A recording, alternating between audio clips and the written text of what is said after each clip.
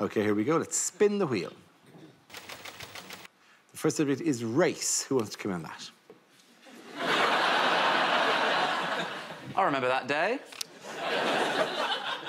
the Interracial Arm Wrestling World Championships.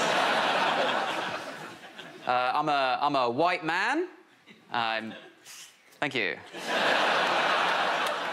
I'm a white man, which means that a lot of people hate me these days. Uh, but I'm a white man, so it doesn't matter.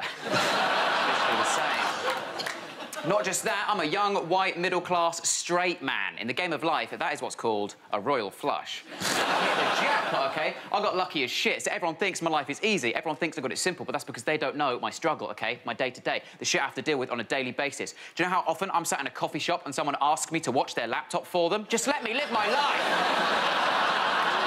Yes, I am trustworthy, but don't assume that based on my appearance, OK? That is still discrimination. and yes, in this Caffè Nero, surrounded by all these mums, I'm unlikely to steal your Dell computer when I'm clearly already using a MacBook Pro. a Superior laptop.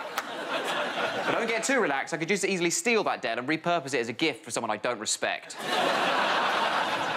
Hard part for me about being those five things, that royal flush, is being a comedian. That's the hard part, because you're constantly told art comes from pain, right? To make great art, you've got to experience pain along the way in childhood or whatever, then harness that pain, turn it into art down the line. But I don't know the meaning of the word pain. I've never experienced any true pain. First time I even saw the word pain, I was in a patisserie.